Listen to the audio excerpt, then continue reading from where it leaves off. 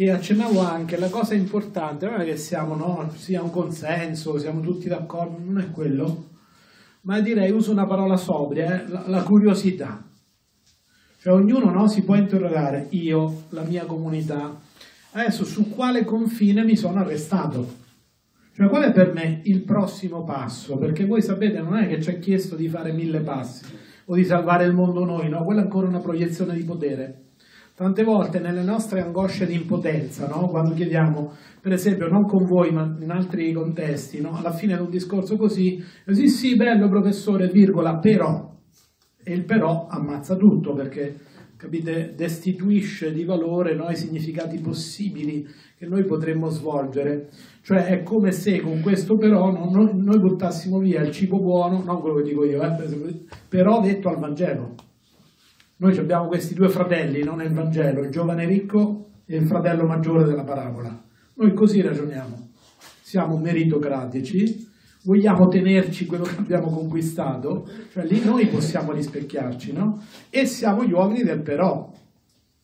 Però questo è troppo, no? È utopistico, però questo è, è però l'uomo ha la natura cattiva. Ecco, allora, come si fa a passare dal però al come? Che finché dico però, probabilmente c'è proprio un'angoscia che è tipica della mentalità di potere. Cioè io vorrei prima le garanzie di efficacia. Pietro con Gesù no? voleva le garanzie di efficacia, se no tu ti scandalizzi, ti, ti, scandalizzi di te, ti scandalizzi del maestro, ti scandalizzi del Vangelo. Cioè, quanta gente no? se è sfiorita, è delusa, spesso i più cinici, i più disincantati, sono quelli che a vent'anni avevano un grande ideale a 40, a 50 li trovi dalle parti peggiori, perché proprio la disillusione, gli anticlericali, no? per esempio, quelli che hanno con la chiesa, quelli da ragazzi hanno fatto il seminario. Allora perché? No? Attenzione a questa, non è che c'è chiesta l'efficacia a tutti i costi, la garanzia prima, c'è chiesta la fecondità, che è un'altra cosa. Cioè che noi facciamo la nostra parte, la nostra parte, nessuno la fa al posto nostro, la nostra parte senza calcolare prima fin dove possiamo arrivare. Che voi lo sapete, quando fate un atto di bene, no? un atto coraggioso, non è che prima avete studiato, ci avete pensato, l'avete progettato, avete calcolato e poi l'avete fatto. Vi ci siete trovati. Paolo dice è la radice che porta a te. Ma che tu arrivi, costruisci, organizzi. Cioè non vorrei che ci pensassimo come organizzatori del bene. Se noi vogliamo essere gli organizzatori del bene, non funziona, lo sappiamo già al massimo arriviamo a un altro delirio di potere. In realtà invece qui si tratta proprio, la, la, la, domanda è non solo come si fa, ma chi sto diventando, qual è la mia scelta di fondo. E alla fine dipende da noi, se noi vogliamo essere persone così spente, magari anche dentro un'armatura religiosa, ma persone spente, disappassionate alla vita, oppure persone così vive, appassionate alla vita che è sempre vita comune, non esiste la vita privata, è sempre vita comune, siamo sempre in questo tessuto di relazione, che diventano per come vivono, io credo che molti di voi lo sono, sanno di che parlo, diventano per come vivono una fonte di speranza per chi era disperato, che alzando la testa vede qualcuno che vive come voi e dice però non è un deserto, posso sperare in qualcuno, posso avere fiducia in qualcuno. Quindi il mio spirito è un po' questo, cioè, allora la curiosità è di capire qual è il prossimo passo che io posso fare. E qui io faccio proprio una differenza, questo lo dico proprio in generale come filo trasversale a queste domande. Faccio una differenza tra sacrificio e rinuncia. Sacrificio è sempre un atto distruttivo, cioè vuol dire sacrificio di vittime, mortificazione interiore di me stesso, di qualcun altro. Tant'è vero che a differenza di quello che noi abitualmente crediamo, i Vangeli non qualificano la croce come sacrificio. Lo sapete, la parola sacrificio ricorre due volte nei Vangeli, Matteo 9, 7, 12, 3, per dire che Dio non lo vuole e vuole la misericordia. Io dopo lo so che noi abbiamo una tradizione che ha invertito le parole sulle labbra di Gesù. Noi è come se avessimo detto sacrificio io voglio, non misericordia. Cardinale Casper nel libro sulla misericordia, le prime 60 pagine le ha dovute dedicare a spiegare come mai la teologia cristiana ha fatto sparire la misericordia e l'ha intesa come una patetica virtù femminile per come la guarda lo sguardo maschile. E noi crediamo più alla giustizia retributiva, il Dio dell'inferno, del purgatorio, quello sì che... Misericordia, se sei italiano, sembra che sia un colpo di spugna, un condono. Mi senti misericordia, c'è un condono. E no, è proprio un'altra visione. Allora, recuperare questa positività radicale, che non vuol dire ignorare il negativo, ignorare le difficoltà, ignorare la paura che tutto questo ci fa, no? Però almeno la curiosità di dire qual è il prossimo passo. Allora non è che faccio un sacrificio, se no capite non avrebbero senso le beatitudini. E perché ci ha detto beati, le beatitudini? Se l'invito era sacrificatevi. Non c'è in nessun versetto del Vangelo c'è scritto sacrificatevi. Sono altri termini offerto in sacrificio per voi, lo sapete, è una manipolazione del testo, il testo dice offerto, non dice in sacrificio, eh? non dice. Allora, rispetto a questo, la rinuncia è il contrario. La rinuncia significa io mi sbarazzo di tutto quello, di tutti i lacci che mi impediscono di vivere la vita come dono. Cioè mi libero di quella sofferenza che mi costruisco con le mie mani quando mi attacco alla proprietà, al potere, alla paura, a quegli attaccamenti che ci impediscono di volere il bene, di vivere il bene. L'ho, sperimentato con un detenuto, ho portato i ragazzi all'università a colloquio con i detenuti del carcere di Bollate e c'era un ragazzo albanese molto sveglio che aveva fatto rapine in tutta Europa, era stato latitante e certo io sono diventato libero in carcere. Che i ragazzi miei dicevano è la paura che ci impedì loro a strevano, dicevano la paura, dice no, non è la paura, sono gli attaccamenti. Cioè io ero attaccato a una vita, a un alto tenore di vita, macchine, eh, spese, e allora dovevo fare le rapine, se ero attaccato a quella vita. Quando mi hanno arrestato sono diventato libero, perché ho perso quegli attaccamenti e ho cominciato a capire qual era il vero, il vero valore della vita. Allora capite, gli attaccamenti a quello che ci soffoca. Allora l'arte della rinuncia significa proprio liberati di tutti quei pesi che tu scambi per sicurezze, per gratificazioni, per cose importanti, che ti impediscono di vivere la vita con amore. Quindi la rinuncia è un atto di libertà, non è un sacrificio, non è una distruzione. Allora se noi ci mettiamo in questo spirito e lo facciamo non soltanto in modo personale, ma prima dicevo un po' la chiave, no? aprendo la corrente dell'esistenza comunitaria. Cioè l'essere umano, dice la Bibbia, non è bene che stia solo, ma non solo nel senso del rapporto uomo-donna, ma proprio nel senso antropologico, cioè noi siamo fatti per la comunione, per la relazione. Non possiamo edificare la vita sulla solitudine, sull'isolamento affettivo, economico, politico, etnico. Cioè non è possibile. Allora, se noi recuperiamo l'esistenza comunitaria dalla parrocchia, dalla famiglia, voi lo sapete che tutto possiamo vivere o come separazione o come comunione. È un'alternativa netta. Allora, se noi ripartiamo dal vivere secondo comunione, voi vedete che si sprigiona una fecondità che quando eravamo immersi nella separazione non riuscivamo a vedere. Non era l'efficacia che non c'era, eravamo noi che non c'eravamo mancavamo di integrità, mancavamo di coraggio, mancavamo di una fonte che ci desse energia, mancavamo di aiuto reciproco. Capite? Prima di dire eh non ce la facciamo, prima di dire non è possibile, verificate, ma gli elementi che consentono la fecondità ce li abbiamo? Cioè c'è stata questa operazione di liberazione che ci permette un cammino così. Allora in questo spirito, giusta la prima cosa, certo che tutti, io come vedete ho fatto un discorso superficiale, ma non scherzo, nel senso che a me interessava darvi una mappa d'insieme, ma ogni punto andava approfondito. Ovviamente non lo potevo fare qui, probabilmente non ho neppure le competenze per farlo, lo potremmo fare insieme, invitando altri, sentite le altre relazioni, però mi interessava darvi il senso di una direzione, solo questo.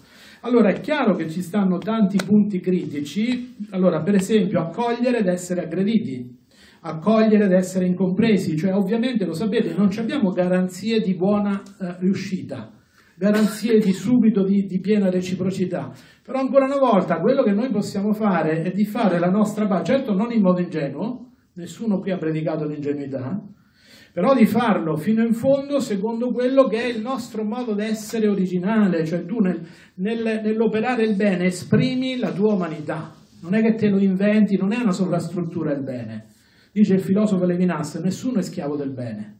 Per aderire al bene significa esprimere la tua umanità.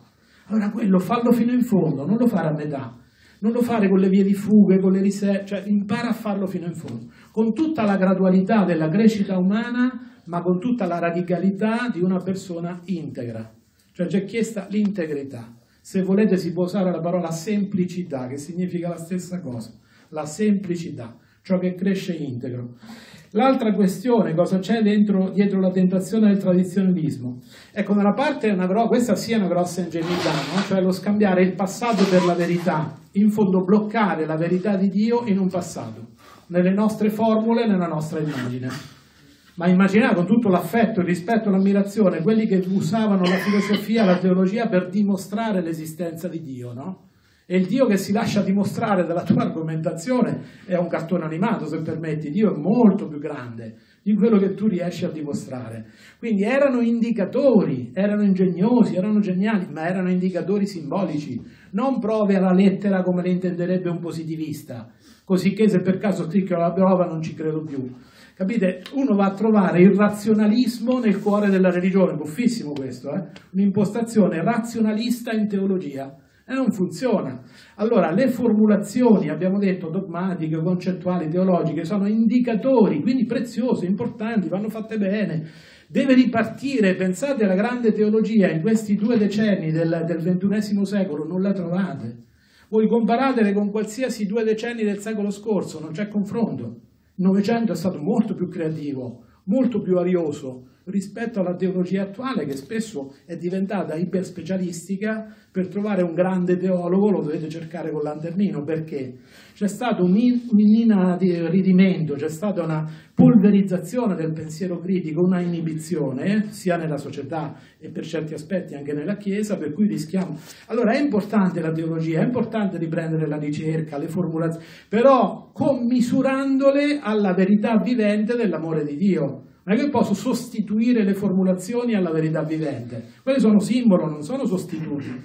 L'altra cosa che fa tenerezza nel tradizionalismo è che questo è molto umano, in un certo senso tutti siamo tradizionalisti, capite? Anche i progressisti, eh? Anche i progressisti come me che criticano i tradizionalisti, mi autoetichetto banalmente, ironicamente, perché in fondo tutti scontiamo questa assenza di Dio.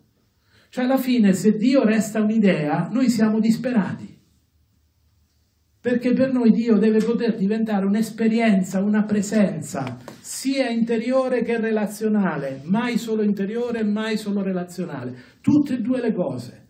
E quando questo sperimentiamo che non accade, ci sentiamo distanti, perdiamo fiducia, quella è disperazione. Allora, in fondo, io credo inconsciamente il tradizionalismo è un disperato tentativo di rendere oggettivabile un Dio che in fondo si teme che sia assente perché si incrociano due paure, la paura di Dio, cioè di questo che, che sembra il padre di Mozart, no? che ti terrorizza, che c'ha l'inferno, che ti giudica di continuo, e come farai a sembrare adeguato di fronte al giudizio di Dio? È ridicolo, no? Certo che saremo inadeguati. O quindi il terrore del giudizio di Dio, di Dio, e il terrore che Dio non esista. Capite che cosa è più atroce? Che Dio esiste e non ci ama o che Dio non esiste? E siamo abbandonati nella vita e la vita è un immenso reparto di malati terminali che aspettano di morire. Capite? In fondo, al fondo del tradizionalismo c'è l'umanissima angoscia di morte e di assenza di una relazione con un amore vero, originario, fondante. Quindi in questo senso fa tenerezza, cioè si capisce, è anche nostro. Però ecco, allora il cammino deve essere quello di imparare a rigenerare la tradizione che, come si diceva, è vita, non è ripetizione di formule o di usanze o di, o di costumi, insomma, del passato. Anche perché, lo accenno solo, c'è futuro anche nel passato. Ma Gesù di Nazareth è uno che è vissuto duemila anni fa, o come hanno detto tutti quelli che hanno avuto un'esperienza di fede, è contemporaneo. C'è un futuro in quello che riteniamo passato e quello che riteniamo attuale spesso è decrepito. Capite? Quello che è veramente carico di futuro già abitava le tradizioni precedenti, le generazioni precedenti. Quindi non, non si può misurare col tempo cronologico. Giusta l'osservazione che dobbiamo rileggere anche la profondità del tempo in un modo diverso, insomma, dall'idea del tempo lineare. Le altre questioni di Don Piero, giustamente la tradizione ridotta a fedeltà dottrinale e il formalismo dei gesti. Ecco, qui direi che il vero antidoto qual è? Tutto questo è l'effetto di quando noi comunque abbiamo stabilizzato un sistema di separazione, cioè viviamo spezzando le relazioni vitali. Allora il vero antidoto qual è? Rigenerare la vita come vita comunitaria. Io credo che quello sia l'antidoto. Notatelo, accenno solo, comunità non significa padroni in casa nostra, porte chiuse, stranieri via, La comunità, prima di essere un luogo, è l'evento della caduta delle barriere per cui io credevo che l'altro era totalmente altro da me. Questo riguarda sia il rapporto con Dio, il rapporto con gli altri, il rapporto con la natura. La comunità è un evento di caduta delle barriere. La Bibbia è piena di scene di questo tipo. Giuseppe che dice ai fratelli non temete, sono vostro fratello. Cioè fa cadere la barriera della paura, dell'estraneità, del senso di colpa. Allora è importante avere luoghi, condividere, certo, ma non parti dal luogo, parti dall'apertura alla relazione. Allora quando noi realizziamo questo la tradizione è viva allora l'osservazione di Don Giorgio, certo che a quel punto i giovani ce li trovi. È vero che molte volte i giovani sono distanti, però è anche vero che laddove il cristianesimo è vissuto, i giovani ci stanno sempre, tu li trovi in prima fila. Allora non è questione che loro sono meno forti, meno tenaci di quelli di un tempo, è questione del tipo di messaggio, della credibilità che incontrano dei, banalmente degli esempi che loro trovano credibili nel loro cammino di crescita. Quindi se trovano questo, io penso che scopriamo pure che la giovinezza, la gioventù non è solo un fatto cronologico, ma è un fatto proprio di adesione al cuore della vita. Ve lo dico in modo retorico, con una formula, non c'ho tempo, però invecchia solo chi pensa sempre a se stesso. Non invecchia chi vive una vita transitiva. Io ero amico di Arturo Paoli, che a cento anni ancora diceva la messa e quando vedeva gli ottantenni davanti diceva spostate i vecchietti lui aveva 100 anni. E lui aveva proprio questa freschezza di uno che fa una vita transitiva, ti può invecchiare nel corpo, ma in realtà nel modo di amare sei giovanissimo. Quindi lo sapete che non è una categoria semplicemente anagrafica, cronologica. Quando un giovane cronologico, altrimenti può essere vecchio pure a 20 anni, eh? prima l'accenno, a volte certi preti giovani per darsi un'identità si irrigidiscono che un prete anziano mai commetterebbe quelle ingenuità, è molto più comprensivo, molto più... loro hanno bisogno di un'identità stretta perché sennò sentono un vuoto. Allora, se voi date un esempio, una comunicazione di questo modo no, di esistere, allora il giovane cronologico trova nutrimento, le coscienze, i sentimenti vanno nutriti e li posso nutrire, alimentare, dar loro respiro se ci stanno persone più adulte che fanno strada con loro anche nei casi di conflitto. Prima dicevano, questo non vuol dire un animismo, eh? la nostra anche abitudine cattolica di nascondere i conflitti sotto il tappeto, per carità dobbiamo far vedere che siamo tutti uniti. Il conflitto, se è fatto nel rispetto, anche il dialogo può essere un conflitto, però è sano, vuol dire esperienza del fare strada insieme. Io ho un'amica che era insomma una mamma cosiddetta progressista, la figlia, e una volta sta figlia l'ha combinata grossa, la mamma gli ha dato uno schiaffo la figlia ha risposto, ah, allora mi vuoi bene. Cioè vuol dire spesso il giovane vuole che tu ci stai nel conflitto, non è che vuole fare quello che vuole, vuole una relazione che sente negata, che sente che tu stai altrove. Allora fosse anche lo scontro, ma il modo in cui lo fai diventa relazione e strada comune. Allora se c'è questo, voi vedete che i giovani nel Vangelo, in questa prospettiva di vita, ci credono, non hanno difficoltà. Il problema vero è la credibilità della proposta che non può essere verbale, non può essere il catechismo classico che in gran parte annoia i bambini, i ragazzi, e poi voi vedete che in chiesa ci stanno fino alla cresima, poi non li trovate più, poi li trovate da vecchi perché pensano che devono batteggiare col Padre Eterno e tornano alla messa, però tutta la fase intermedia della vita non li trovate più. Invece se fanno un cammino di vita, quelli sempre faranno questo percorso e sarà un percorso vivo. Quindi questo mi pare no, la, la, la conferma della serietà di quella chiave comunitaria. Importante l'osservazione sul rifiuto della complessità, è chiarissimo, e quindi qui anche no, la, la, capacità, anche nelle nostre comunità, di sviluppare il pensiero critico, la riflessione comune, il confronto con la parola. Notate, la parola, voi lo sapete meglio di me, no, non aggiunge niente alla realtà, ti riporta alla realtà, ti apre gli occhi, ti riporta alla realtà tua, alla realtà degli altri, toglie le illusioni e apre una speranza autentica. Se tu il confronto con la parola lo salti, se i cattolici, scusate la banalità, non conoscono il Vangelo e non ci dialogano sopra, così come i cittadini italiani non conoscono la Costituzione, capite di che parliamo? Cioè non è possibile vivere il cristianesimo. Gli serve proprio questo elemento concreto che sia vissuto insieme. La riflessione sulla diversità la approviamo completamente, è giusto, però la diversità appunto trova un terreno di, di dialogo quando impariamo a vedere un orizzonte comune cioè teniamo insieme la differenza e la condivisione. Mai solo l'identità esclusiva, mai solo la differenza, che è un altro nome dell'identità, ma un orizzonte comune, cioè il fare strada insieme.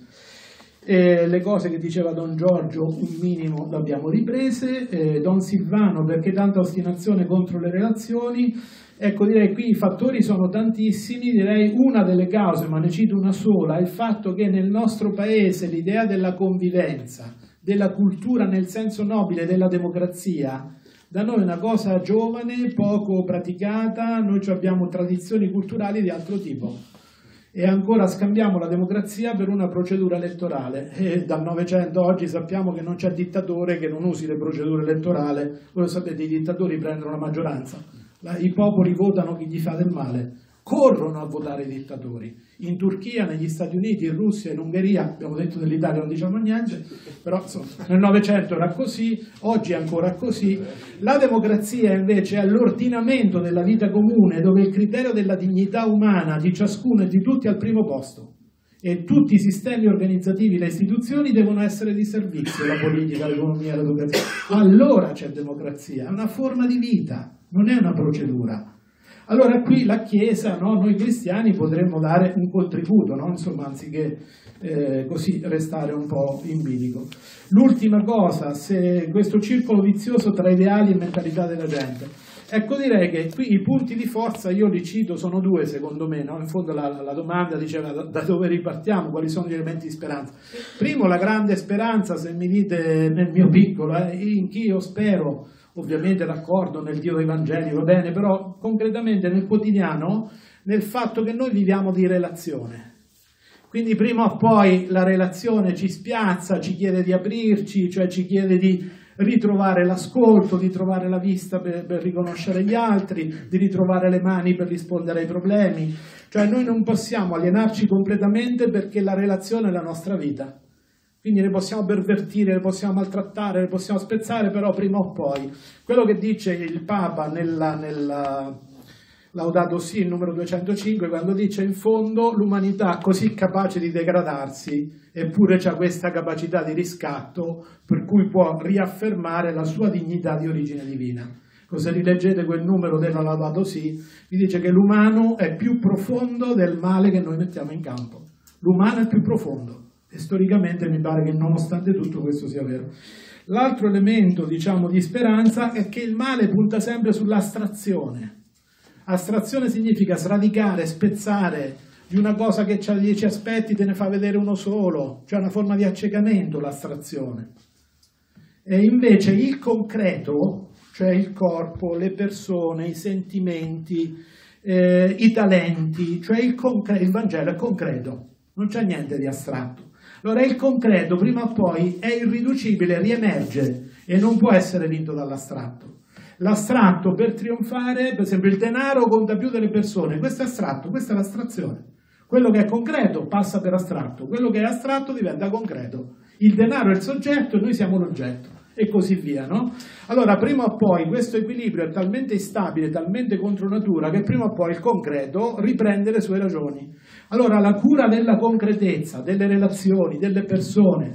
E chiudo, se mi chiedete, ma per accelerare, per fare presto, perché le contraddizioni del mondo ci chiedono di fare presto, questa a me sembra la, la questione più grave che tu il bene per maturarlo e viverlo c'è bisogno di educazione, di cura, di testimonianza, di coraggio, di lentezza, cioè il bene è lento, il male è velocissimo. Il bene richiede la scelta personale, il male si contagia, manco t'accorgi, il male peggiore si fa in buona fede, eh? si fa in malafede. Malafede almeno un pochetto capisci che stai facendo del male, se lo fai in buona fede non capisci più. Allora, la contraddizione più grave è la velocità del male rispetto alla lentezza del bene, parlando semplicemente. Allora, se uno mi dice come possiamo fare più presto, fare prima, ecco, la mia risposta sarà banale, sarà semplificante, però direi educare, cioè riprendere in mano il rapporto tra le generazioni motivare gli adulti, l'adulto non so se lo puoi educare, però lo puoi motivare. I più piccoli li puoi educare, ma educare non vuol dire indottrinare, non vuol dire che devono imitare te, educare vuol dire liberare, liberare dalla paura, liberare dall'ignoranza, liberare dai sentimenti distruttivi, aprire strade. La cosa più concreta, la cosa più veloce che noi possiamo fare è rimettere mano ai processi educativi, che non sono solo la famiglia o la scuola o l'università, sono la parrocchia, la diocesi, il quartiere, il reparto d'ospedale, il posto di lavoro, per agire in modo educativo che vuol dire portare alla luce la nostra umanità. Questo non è mai stato reso impossibibile e quindi lo possiamo fare, è nostra responsabilità di farlo. Se dovessi sintetizzare eh, proprio una sintesi estrema, ma anche come qualche cosa che può accompagnarci durante questa settimana, mi sentirei di dire così, ecco, no? abbiamo capito che la tradizione è questione di vita, una vita accolta che deve essere trasmessa donata, messa a servizio.